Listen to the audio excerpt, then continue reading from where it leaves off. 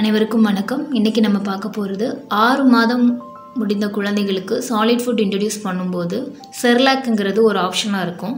இந்த செர்லாக்கில் நிறைய ஃப்ளேவர்ஸ் இருக்குது எந்த மாதிரியான ஃப்ளேவர்ஸ் கொடுக்கலாம் அப்படிங்கிறது பெற்றோர்களுக்கு ஒரு பெரிய கன்ஃபியூஷனாகவே இருக்கும். இந்த கன்ஃபியூஷனை கிளியர் பண்ணுறதுக்காக தான் நான் இந்த வீடியோவை ஷேர் பண்ணுறேன் நீங்கள் என்னோடய சேனலை ஃபஸ்ட் டைம் பார்க்குறீங்கன்னா சப்ஸ்கிரைப் பண்ணுங்கள் கூடவே கீழே உள்ள பெல் ஐக்கானையும் ப்ரெஸ் பண்ணுங்கள் அப்போ தான் நான் போடுற எல்லா வீடியோஸும் உங்களுக்கு நோட்டிஃபிகேஷனில் காமிக்கும். செர்லாக்கில் நிறையா ஃப்ளேவர்ஸ் இருக்குது நீங்கள் ஆறு மாத குழந்தைங்களுக்கு முதல் திட உணவை இன்ட்ரடியூஸ் பண்ணும்போது நீங்கள் ரைஸ் செர்லாக்கே ப்ரிஃபர் பண்ணுங்கள் ஏன் ரைஸ் செர்லாக்கு சொல்கிறேன்னா நம்மளோட பாரம்பரிய உணவு அரிசி அதே மாதிரி நம்ம அடிக்கடி உணவில் அரிசி சேர்க்குறனால குழந்தைங்களுக்கு அலர்ஜி ஏற்படுற வாய்ப்புகள் ரொம்பவே கம்மி.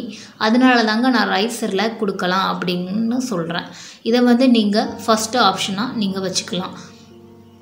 நான் நெக்ஸ்ட் வீடியோவில் இந்த ரைஸ் செர்லாக் வீட்லேயே எப்படி தயார் பண்ணுறது அப்படிங்கிறத நெக்ஸ்ட் வீடியோவில் உங்ககிட்ட நான் ஷேர் பண்ணுறேன் நன்றி.